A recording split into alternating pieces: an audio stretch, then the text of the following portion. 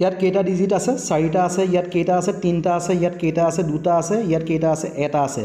যেতিয়া এনেধৰণৰ কুৱেশ্যন সমাধান কৰিবলৈ আহে যিফালে বেছি ডিজিট আছে সেইফালৰ পৰা আৰম্ভ কৰিম। ইয়াত চাৰিটা আছে চাৰি চাৰি গুণ ষোল্ল ছয় উকলিব এক চাৰি তিনি গুণে বাৰ একে তেৰৰ তিনি উকলিব এক চাৰি দুগুণ আঠে একে ন চাৰি এগুণে চাৰি four nine three six is the right answer next question যেতিয়া এনেধৰণৰ কুৱেশ্যন আহে আমি অতি কম সময়ৰ ভিতৰত কেনেকৈ সমাধান কৰিম? যেতিয়া পইণ্টত থাকে তেতিয়া আমি কি কৰিম?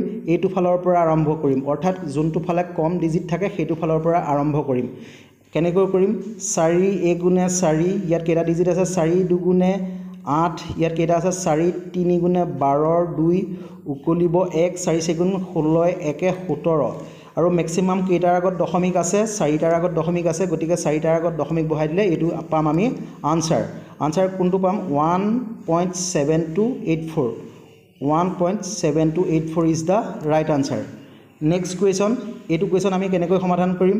ইয়াত কেইটা তিনি আছে ছটা আছে ইয়াত কেইটা আছে পাঁচটা আছে ইয়াত কেইটা আছে চাৰিটা আছে ইয়াত তিনিটা আছে ইয়াত দুটা আছে ইয়াত এটা আছে। আমি কেনেকৈ আৰম্ভ কৰিম? ইয়াৰ পৰা আৰম্ভ কৰিম। ঠিক আছে?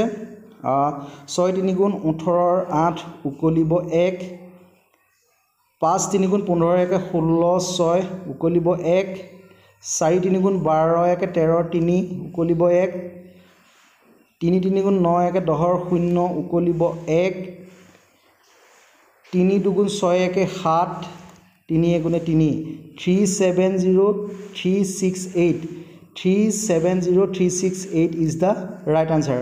আশা কৰোঁ তোমালোকে কুৱেশ্যনকেইটা ধুনীয়াকৈ বুজি পাইছা। এনেধৰণেৰে কৰিব লাগে। নেক্সট এইটো এটা অতি প্ৰয়োজনীয় কুৱেশ্যন এনেধৰণৰ কুৱেশ্যন পৰীক্ষাত অহা দেখা যায়। যদি পৰীক্ষাত এনেধৰণৰ কুৱেশ্যন আহে তেতিয়াহ'লে আমি কম সময়ৰ ভিতৰত কেনেকৈ সমাধান কৰিম? অতি সহজ তোমালোকে চোৱা ইয়াত তিনি কেইটা আছে এটা ইয়াত কেইটা আছে দুটা ইয়াত কেইটা আছে তিনিটা ইয়াত কেইটা আছে ছটা। ইয়াৰ মাজত কেইটা থাকিব? তিনিৰ পিছত চাৰিটা থাকিব। চাৰিটা থাকিব আৰু ওৱান বাই থ্ৰী থাকিব। তাৰপিছত কি থাকিব? পাঁচটা থাকিব। পাঁচটা থাকিব। তাৰপিছত ওৱান বাই থ্ৰী থাকিব। ঠিক আছে এতিয়া আমি পূৰ্ণ সংখ্যাবোৰৰ প্ৰথমতে যোগ কৰি ল'ম। ঠিক আছে প্ৰথমতে এই নাম্বাৰবোৰৰ যোগ কৰি ল'ম। ইয়াত কেইটা তিনি আছে? ছটা তিনি আছে। আমি সৰহ ফালৰ পৰা আৰম্ভ কৰিম। ছয় তিনি গুণ ওঠৰৰ আঠ উকলিব এক তাৰপিছতে পাঁচ তিনি গুণ পোন্ধৰ একে ষোল্ল ছয় উকলিব এক তাৰপিছতে চাৰি তিনি গুণ বাৰ একে তেৰ তিনি উকলিব এক তাৰপিছত তিনি তিনি গুণ ন একে দহৰ শূন্য উকলিব এক তিনি দুগুণ ছয় একে সাত তিনি এগুণে তিনি। ঠিক আছে আমি এইটো পালোঁ। তাৰপিছতে চোৱা one by three one by three কেইটা আছে? এক দুই তিনি চাৰি পাঁচ ছয়। ছটা আছে।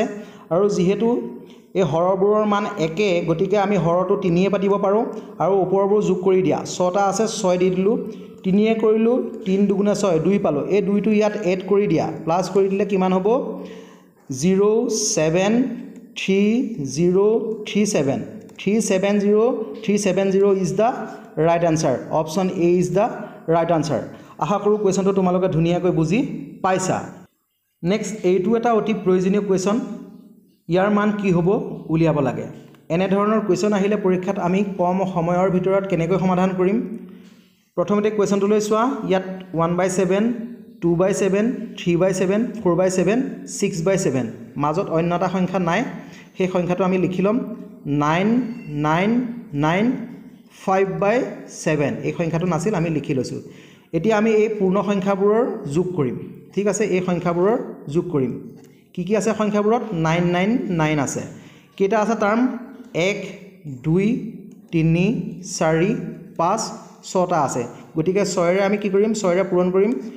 ছয় নগুণ চৌৱন্নৰ চাৰি উকলিব পাঁচ। ছয় নগুণ চৌৱন্নয়ে পাঁচে ঊনষাঠিৰ ন উকলিব পাঁচ। ছয় নগুণ চৌৱন্নয়ে পাঁচে ঊনষাঠি। পাঁচ দহ ন ঊনষাঠি ঠিক আছে? এইটো পালোঁ। এতিয়া আমি এই ফ্ৰেকশ্যনবোৰ যোগ কৰিম। এই ফ্ৰেকশ্যনবোৰৰ যোগ কৰিম চাবা। ফ্ৰেকশ্যনবোৰৰ যিহেতু হৰৰ স্থানত ছেম ছেভেনেই আছে সকলোতে সাতে আছে গতিকে আমি সাত বহাই দিলোঁ। আৰু যেতিয়া হৰবোৰ ছেম থাকে ওপৰৰকেইটা আমি এড কৰি দিলে হয় যোগ কৰি দিলে হয়। একে দুৱে তিনি তিনিয়ে তিনিয়ে ছয় ছয়ে চাৰিয়ে দহ দহে পাঁচে পোন্ধৰ পোন্ধৰে ছয়ে কিমান? একৈছ টুৱেণ্টি ওৱান সাতেৰে কৰিলোঁ সাত তিনি গুণে একৈছ তিনি পালোঁ। এই তিনিটো ইয়াত যোগ কৰি দিলোঁ। ঠিক আছে? যোগ কৰি দিলে কিমান পাম? Seven nine five nine. Five nine seven nine is the right answer. Option B is the right answer. আশা কৰোঁ ভিডিঅ'টোৰ দ্বাৰা কিছু কথা জানিব পাৰিলা। অতি প্ৰয়োজনীয়। এনেধৰণে তোমালোকে ট্ৰিক্সত কৰিব পাৰিলে পৰীক্ষাত সময় বচাব পাৰিবা। আৰু যদি তোমালোকৰ মোৰ ভিডিঅ'টো চাই ভাল লাগিল তেন্তে লাইক কৰিবা কমেণ্ট কৰিবা শ্বেয়াৰ কৰিবা আৰু মোৰ চেনেলটোলৈ যদি কোনো নতুনকৈ আহিছা মোৰ চেনেলটি ছাবস্ক্ৰাইব কৰি থ'বা আৰু ফেচবুক পেজটি ফ'ল' কৰিবা। ধন্যবাদ আজিলৈ সামৰিছোঁ।